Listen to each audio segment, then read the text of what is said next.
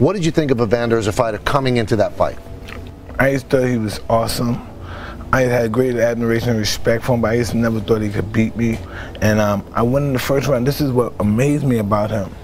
I, in the first round, no one ever. I hit him with a right hand to the body. I heard him screaming. He, ah! and, and next thing, man, next thing I know, I'm on a roll. Oh, 10 rounds, 11 rounds. You know, I wish I never hit this guy there. You know, I wish I never hit this guy. I hit this guy in the body. He tried to kill me. I heard him scream. He tried to really kill me. But he's just splendid. You know, he's a splendid guy, and that's why I despise him so much because I admire him so much. I want to kill him. Uh-huh.